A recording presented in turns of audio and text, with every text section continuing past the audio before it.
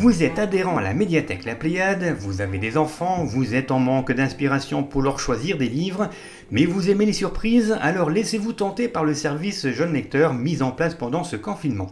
Le principe est simple, vous téléphonez ou vous envoyez un mail à la médiathèque en indiquant l'âge de votre enfant ou de vos enfants et les bibliothécaires choisissent pour vous une sélection de livres.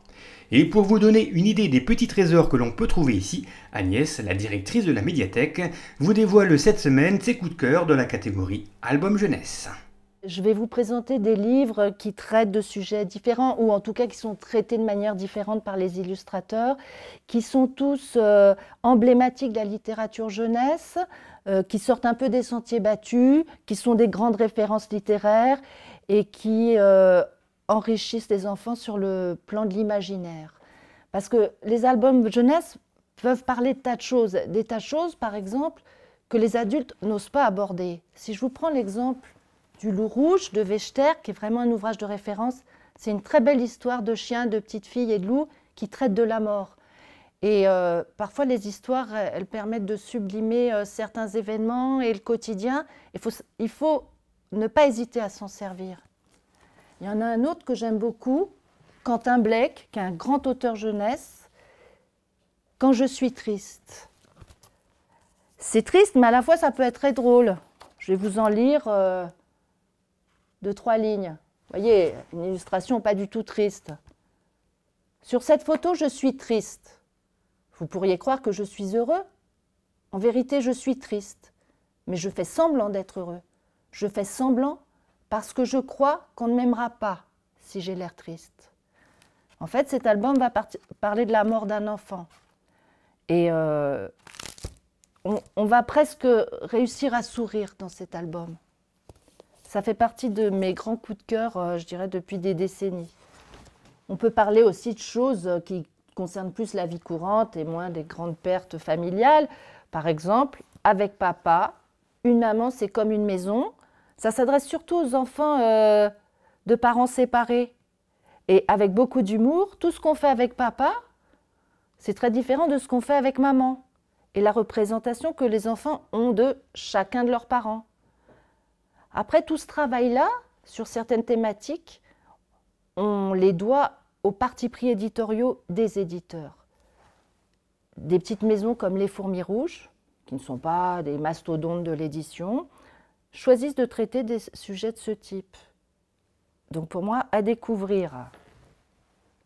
Ah, celui-là, je l'aime beaucoup aussi. Le livre du livre du livre, publié chez Helium, un super éditeur jeunesse aussi. Alors, euh, vous vous rendez compte, trois livres dans un seul. Voici mon premier livre. Ah, ah puis le deuxième livre, puis notre troisième livre. Alors voilà, trois livres en un. Celui-ci, Doudou perdu, je l'aime beaucoup aussi. C'est pas la recherche du temps perdu, c'est pas où est Charlie, c'est à la recherche du doudou perdu. Alors, il prend un peu de place dans le sac, voyez, mais il est quand même très amusant parce que dès lundi matin, il y a un petit garçon qui perd son doudou qui s'appelle Bloop. Et donc, à travers ces pages géantes, à chacun de retrouver le fameux doudou. Où se cache Bloop? Je vous laisse chercher. Ça vous occupera bien deux heures. Et en plus, c'est euh, une activité familiale, la recherche de Bloop.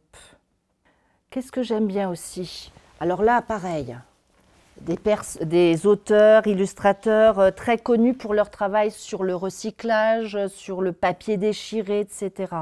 Là, il y a Sarah, une dame qui s'appelle Sarah. Par exemple, si on prend la laisse rouge. Album sans texte, magnifique. Alors en général, on le sait très bien, les albums sans texte mettent beaucoup plus mal à l'aise les parents que les enfants. Parce que à ce moment-là, c'est les enfants qui s'emparent de l'histoire et c'est eux qui la racontent. Une très bonne façon de faire fonctionner son imagination.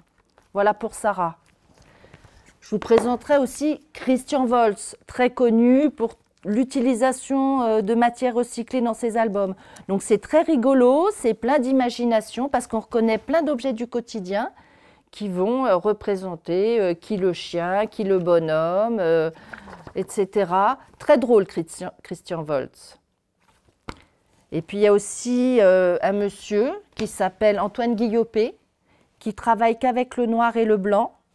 Alors lui, il est dans tous les cycles 2, 3 de l'éducation nationale. Si on prend par exemple le loup noir, c'est une belle histoire d'amitié entre un enfant et un loup.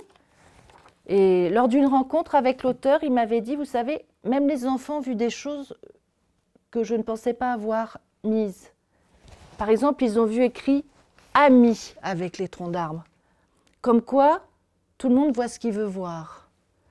Donc très bien, Antoine Guillaume, on en a plusieurs à la médiathèque. Alors, voilà, ceux-là, je les aime bien aussi. On peut aussi aborder les albums par le biais de, je dirais tout simplement, l'histoire de la littérature jeunesse. L'heure d'aujourd'hui, il y a plein de rééditions qui sont très chouettes. Euh, par exemple, ici un livre de Maurice Sendak. Maurice Sendak, euh, qui euh, a écrit Les Maxi Monstres, qui travaille beaucoup sur l'aspect, je dirais, psychanalytique euh, de l'enfant pendant ses rêves, etc. La voici une très belle réédition. Sois moi et je serai toi. Ça veut dire plein de choses. Alors, ça fait peur aux adultes, mais les enfants, pas du tout. Ils trouvent plein de choses dedans euh, pour comprendre leur propre vie. On peut aussi, si on s'intéresse à l'histoire de l'album, repartir sur cette réédition de la Bibliothèque nationale qui euh, est l'œuvre d'une auteure euh, islandaise, je crois. Tout ça pour vous expliquer que après la guerre, il y avait un gros vide, euh, de grosses lacunes dans l'édition jeunesse, et certains auteurs se sont emparés de ce vide pour créer des albums qui sont, je dirais, à l'initiative de tout ce qu'on produit aujourd'hui. Donc ce livre, c'est une réédition d'un livre des années 50 quand il est sorti, il a déjà choqué par son format, qui est un format totalement inhabituel, à grand carré, par son utilisation d'aplats des couleurs. Alors pour certaines formes, bien sûr, vous avez des formes bien définies, que tout le monde reconnaît, on va reconnaître une lune, etc., une cuillère. Et puis pour certaines formes, on sait moins ce que c'est, on sait moins ce que ça représente. Mais ici, c'est un très beau conte, et croyez-moi, les enfants, ça exactement de quoi il s'agit. Vraiment un très bel objet euh, d'édition, euh, dans une très belle qualité et en même temps un très beau conte. Je vous parlais des albums sans texte. En voici un nouveau. Pareil, La joie de lire, hein, une référence en matière d'édition jeunesse, qui s'appelle Migrant. Il est très chouette. Et les enfants ont plein de choses à dire dessus. Je vous le promets, ils ont plein de choses à dire. Il y a des gens à qui je veux rendre honneur, genre Le Sourire qui mord et Christophe Bruel, des gens qu'on appelle des auteurs, des éditeurs militants, qui dans les, il y a très longtemps ont commencé à parler de sujets euh, qui choquaient beaucoup. Par exemple, Les Chatouilles, c'est un livre célèbre de Christian Bruel, qui aborde euh, des sujets euh, sur le genre sur la société qui sont euh, assez compliquées à aborder et qui permettent euh, quand même d'évoquer la thématique avec des enfants. Donc c'est des gens, des vieux livres, mais qu'on a toujours en médiathèque, parce que ça reste des références sur des décennies euh, et qui sont extrêmement intelligents, tout simplement. Allez, on va finir sur une note un peu plus rigolote. Hulot Domino. Alors là, c'est intéressant parce que d'abord, euh, c'est une référence à M. Hulot de Tati. Et puis, c'est un très beau livre découpé. Hein. Donc ça, on s'amuse bien avec. On tourne les pages et on ne voit pas du tout la même chose. C'est une nouveauté. Voilà. Donc tout ça pour vous dire qu'à la médiathèque, il y a des, plein de livres et que nous, on est prêts à vous faire découvrir nos coups de cœur. Euh, et autant de bibliothécaires, autant de coups de cœur en fait.